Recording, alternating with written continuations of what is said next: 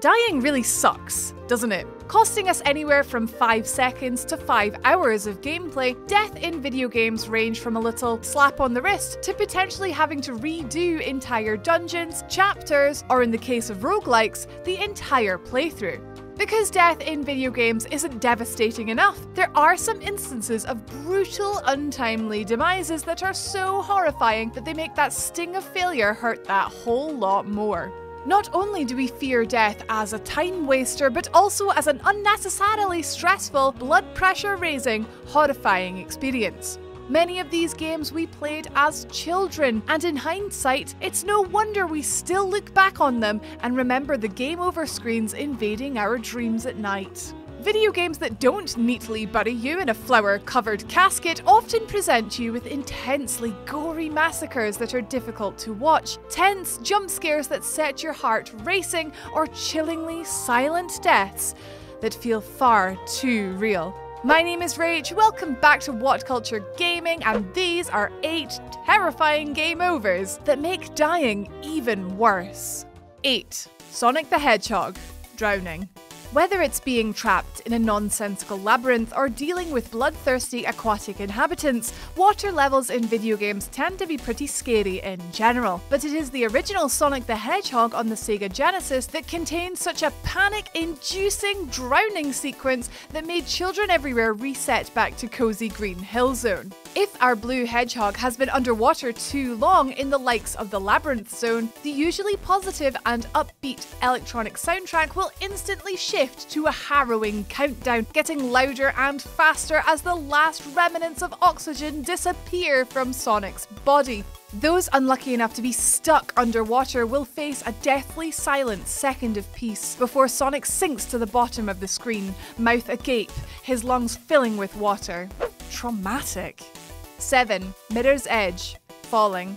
Gravity really is the hardest boss in gaming. Thankfully, games don't usually tend to focus on more than the initial few seconds after the fall. You'll lose your footing and whoops, Perhaps it's an instant game over screen, or the screen just cuts to grey, or the camera stays behind and we simply see our character just become a tiny dot. However, falling off a building or missing a tricky jump in Mirror's Edge forces you to experience the final, frantic moments of Faith's life as she plummets down to the ground below and hits the bottom with a sickening crack. This death is altogether horrifying mainly due to its first person perspective. You will feel the very real terror that a person would be feeling knowing that they were falling to their death. The impact, too, is enough to make anyone never want to fail the game again, cutting suddenly to black, and we have only audio to help imagine what the sight of our mangled body would look like, splattered across the pavement. 6. Disney's Tarzan, dragged away by alligators. The sight of a child lying motionless on the ground surrounded by circling carrion birds probably isn't something you expected to see when you were playing a Disney game. Disney's Tarzan on the PlayStation featured multiple playable characters, and with every death, there are a myriad of game over screens that will greet you in potentially very creepy ways. Young Tarzan flopping onto the screen, his body limp like a rag doll, is upsetting enough as well as Tantor the elephant trumpeting you a respectful funeral song. Terk's death screen will have her fall into a ring of alligators quickly advancing on the lifeless gorilla, and adult Tarzan can be seen being dragged away by an alligator pulling his hair. We should have probably seen this coming after the animated movie featured that chilling scene with Clayton's hanging silhouette. Damn, Disney, you scary. 5. Ninja Gaiden Arcade. No more quarters. Arcades will do anything to get you to keep feeding them coins. The majority of arcade goers were young kids with a few quarters in their pockets if you were from the US, or maybe 20p if you were from the UK, and they had to think carefully about where they wanted to spend them. Some games had to come up with creative ways to keep you popping in those coins, and one such game was Ninja Gaiden. The original arcade version's game over slash continue screen featured a terrifying scene with our ninja tied down and a spinning saw blade slowly descending towards his fleshy, unprotected stomach. Are you sure you don't want to continue? Not even if we saw you in half? The timer runs out and the saw licks its first taste of blood, the scene freezing and the screen turning red in a game over screen that punishes your lack of quarters with a gory display of halves. Other notable arcade guilt trippers include Final Fight, The Punisher, and the nightmare inducing Cadillac and Dinosaurs, featuring a game over screen with a big ugly thug pointing a gun at you and actually pulling the trigger when the continue screen timed out. Yikes, kids! 4. XCOM UFO Defense. Diplomacy fails. The 1994 occult classic strategy game known as XCOM UFO Defense, later remade as XCOM Enemy Unknown, has the player tasked with attempting to combat the extraterrestrial forces threatening the planet.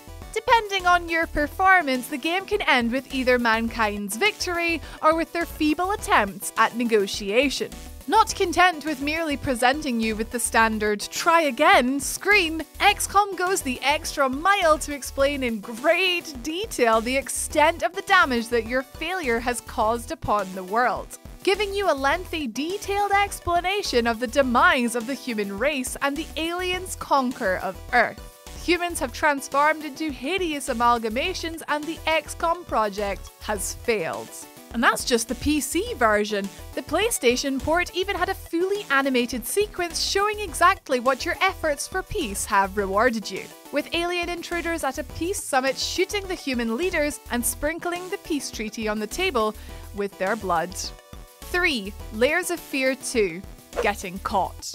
Layers of Fear 2 is the latest in a trend of horror games in the style of walking simulators.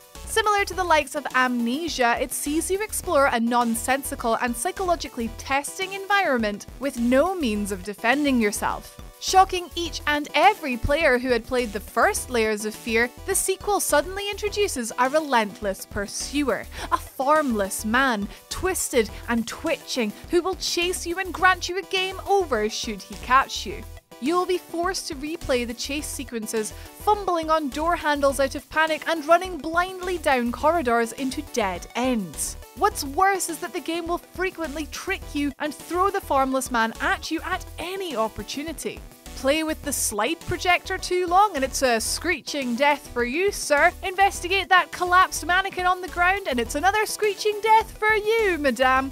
It becomes frustrating and you'll be terrified to touch anything for fear of having to witness that awful death sequence for the 20 millionth time. 2. The Legend of Zelda Majora's Mask The Moon Falls. Transported into the purgatorial world of Termina, you are told that the moon will crush the town in just three days, and you have to conduct all of your business with the land and its people before this deadline hits. It's all very strange. Some of the townspeople believe it, others are skeptical, and we all wanted to know what happened when you let that timer fall to zero. And whether by innocent accident or deliberate curiousness, we all found out eventually. To no one's surprise, it is very on brand with Zelda's darkest installment. The moon really does fall and crush Clocktown, but not before a few minutes of creepy music alongside the haunting chimes of the clock tower ticking down the seconds to the town's destruction. The timer reaches zero and the moon crashes into the clock tower and then the entire town. Link looks on from a distance as the sky turns red and the force of the collision sweeps him off his feet with a scream. Majora's Mask can be seen in the fires, celebrating its victory. It's the kind of game over that you only ever need to see once, ever, and you will do everything in your power to avoid it in the future. 1. Tomb Raider 2013 stabbed, crushed, impaled, mauled, shot, maimed, pick one. Poor Lara Croft has survived countless brutal beatings throughout the years. Ever since the days that she was sporting her titular triangle tatas, Lara's tomb raiding adventures have gotten her into a multitude of dangerous and life threatening situations. But even the terrifying square sharks of Tomb Raider 2 cannot compare to the gut wrenching death animations in 2013's Tomb Raider. On a first playthrough, because you, like Lara, are cutting your teeth, you are bound to wind up in several grisly, deadly situations. Whether it's being mauled by a wolf, shot in the neck with arrows, electrocuted, crushed by boulders, strangled, run through the stomach with a particularly strong tree branch, every single death in Tomb Raider is gut wrenching, painful to watch, and makes you truly despise dying. I mean, the whole thing just calls for a big dramatic montage. Wouldn't you agree?